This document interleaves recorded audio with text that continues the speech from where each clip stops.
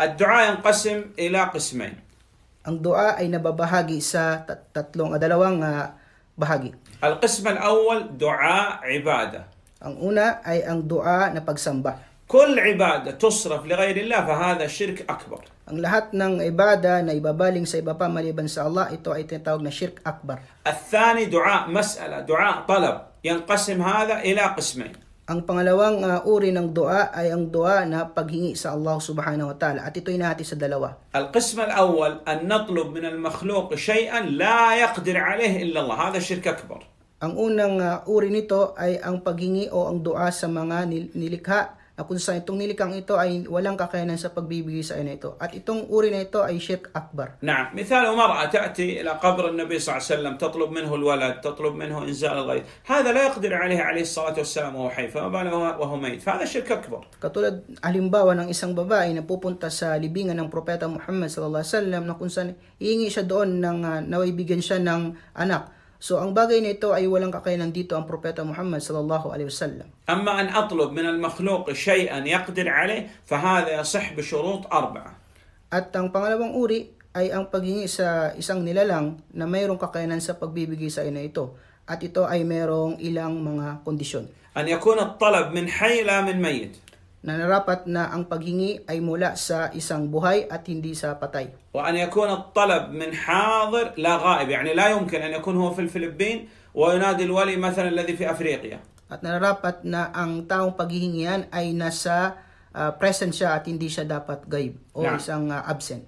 وأن يكون الطلب من قادر لا من عاجز يعني لا يمكن أن يطلب من إنسان مشلول يقول له أعطني كاسة ماء مثلا At kailangan ang paghihingian ng dua o ang paghingi ng tulong ay kailangan doon sa isang taong mayroong kakayanan at hindi po hindi mo pwedeng marihingin ito sa walang kakayanan. نعم الرابع أن أعتقد أن هذا السبب لا يضر ولا ينفع والذي بيده جلب المنافع ودفع المضار هو الله سبحانه وتعالى At ang pang-apat, kailangan kang maniwala na ang bagay na iyon ay isang kadahilan na lamang o mga uh, mga dahilan lamang at ang nagbibigay ng biyaya ang Allah subhanahu wa ta'ala. Nu'id marra ukhra aqsam ad-du'a.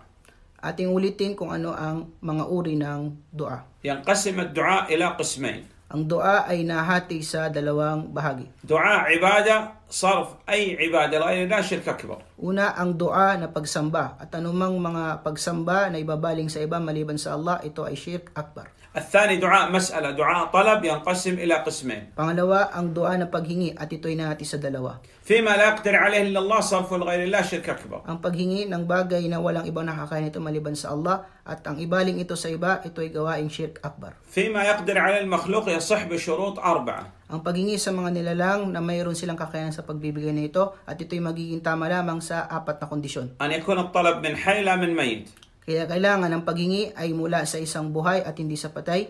حاضر لا غائب Siya ay present at hindi absent. قادر لا عاجز Siya ay may kakayanan at uh, hindi maalis sa walang kakayanan. أعتقد أنه سبب لا يضر ولا ينفع At kinakailangan ikaw ay maniwala na ang bagay na iyon ay isang kadahilan lamang. إذا توفرت هذه الشروط فهذا صحيح وإلا كان من الشرك At kung ito ay mas katuparan ang apat na bagay na ito, ay ito ay tama. At kapag hindi, ito ay nakagawa ng isang kamalian. نعم مثل الدعاء الاستعانة أقول لك أعني في حمل هذه الطاولة إذا توفرت هذه الشروط الأربعة صحت الاستعانة بالمخلوق فيما يقدر عليه Kabilang sa mga halimbawa nito, halimbawa ay ikaw ay humingi ng tulong sa pagbubuhat ng ah, ng lamesa. Kapag itong apat na kondisyon ay napapaloob dito, ito ay naging tama. نعم آه، كذلك فلان من الناس غرق في البحر ويناديك أنت على الشاطئ يقول يا فلان أغثني أغاثك الله هل يصح هذا يصح بهذه الشروط وإلا كانت من الشرك At isa pang halimbawa, kung ikaw ay makakita ng isang taong nalulunod at i- iyong narinig ang taong ito na humingi ng tulong sa iyo,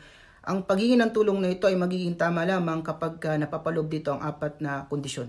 نعم آه، فلان من الناس طالب يأتيك ويقول أريد أن تشفع لي حتى أدرس بالجامعة الإسلامية فإذا توفرت هذه الشروط الأربعة صحت هذه المسألة وإلا كانت من الشرك والله أعلم Kapag ka mayroong humingi sa iyo ng tulong, halimbawa isang estudyante na gusto niya mag-aral sa isang universidad at siya ay humingi sa iyo ng ah, tagapamagitan, itong pamamagitan na ito ay magiging tama lamang kapag ka napapaloob dito ang apat na kondisyon na ito.